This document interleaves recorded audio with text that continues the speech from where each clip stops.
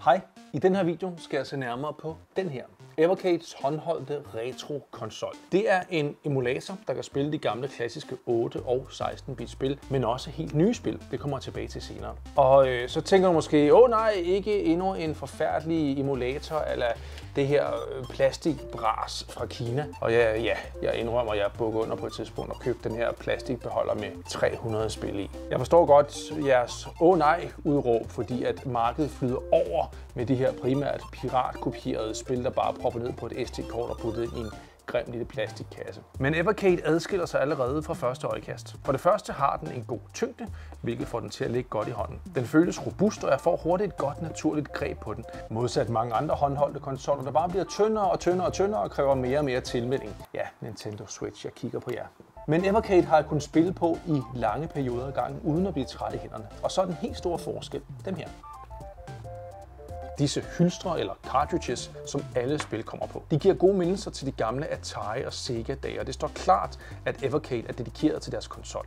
For der er en tydelig kuratering af indholdet på dem her. Du får nemlig ikke en cartridge, der indeholder 100 spil, men derimod et nøje udvalg af spil fra det klassiske udviklerstudier. Og det er ofte en blanding af de åbenlyse fra Pac-Man og Double Dragon til spil som Mappy Kids, der indtil nu kun har været udgivet i Japan. Hver cartridge er dedikeret til et af studierne. De indeholder alt lige fra 6 til 20 spil og kommer i hver deres lille samlerboks. Og her er det også tydeligt, er folkene bag er dedikeret til detaljerne. For det første er de ret lækre, både design og i størrelse, og giver gode mindelser om de gamle Sega-spilæsker. Og så er der lige en super lækker ekstra lille detalje. Inden i hver af de her samlerbokse er der et lille hæfte, der fortæller en kort historie om det pågældende spilstudie, plus lidt om de spil, der er på den her cartridge. Det er både en fortælling om selve spillet, men også nogle gange med små mapping af kontroller, hvor du ved, hvordan du skal spille spillet. Det er altså en dedikation til detaljen, som jeg er helt vild med.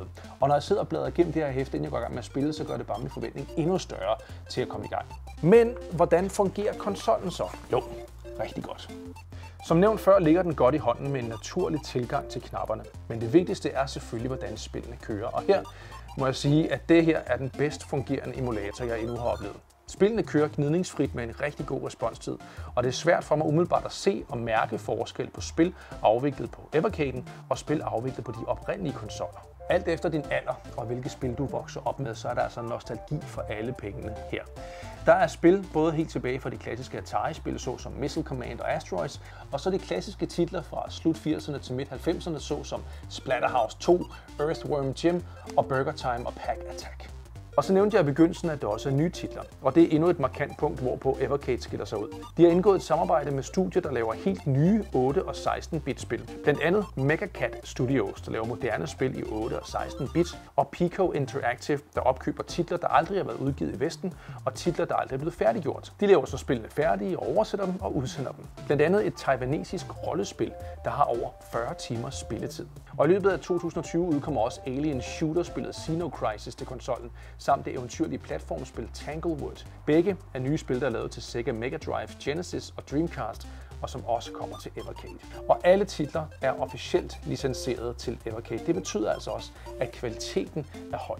Konsollen kan også tilsluttes et tv via en mini HDMI udgang. Og det fungerer ret godt og næsten uden problemer. Jeg siger næsten, fordi jeg oplevede altså en gang, at konsollen pludselig kom med en meget, meget høj, skrættende, statisk lyd, der først stoppede, da jeg slukkede konsollen igen. Og øh, så resetter den hver gang, man sætter et HDMI-kabel i. Og jeg oplevede et par gange, mens jeg spillede, at fordi kablet bare sad lidt løst, så resettede konsollen midt imens jeg var i gang med at spille, og det var ikke særlig fedt. Og så har Evercade af urensagelige årsager valgt ikke og inkludere et kabel med i pakken. Det skal du selv ud og købe.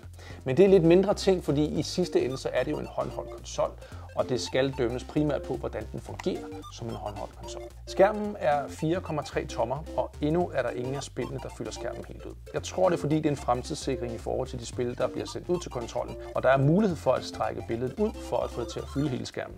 Styrknapperne de kan ikke justeres, og der er altså nogle af titlerne, hvor mappingen bliver lidt bøvlet. Det har Evercade løst med en ny firmware, der tilføjer muligheden for at mappe knapperne, ligesom man vil have dem. Og her tænker jeg, fedt, jeg tænder min Mac, henter det her firmware, sætter konsollen til, for blot at opdage, at man skal have en Windows-computer til at opdatere sin Evercade-konsol. Det er altså et massivt fejlskud fra Evercades side. Og ja, jeg havde haft det på helt samme måde, hvis det havde været omvendt med styresystemerne. Og nej, jeg har ikke tænkt mig at installere Windows på min computer via Bootcamp, bare for at hente den nye firmware og opdatere den her Evercade, som de ellers foreslog inde i kundeservice hos Evercade. Men alt i alt, så er det en ret lækker lille konsol. Og af alle de emulatorer, jeg har haft i hånden, er det her klart den mest professionelle og gennemarbejdet. Målgruppen, det er primært os, der vokser op med de her spil og tilhørende konsoller, og som har savnet det fysiske her i en tid, hvor alt det går hen og bliver digitalt. Og hvis du har et lille samlergen, ja, så kilder Evercaden også det helt rigtige sted med nummererede bokse. Og valget med at have et lille nøje udvalgt sortiment på hver cartridge, giver det en mere værdifuld følelse, og jeg havde lyst til at prøve alle spillene. Det er ikke alle spil, der er lige fantastiske og har den store genspilningsværdi, men der er heldigvis flere, der rammer plet, end der rammer ved siden af. Og så giver det mig endelig mulighed for at pensionere den her.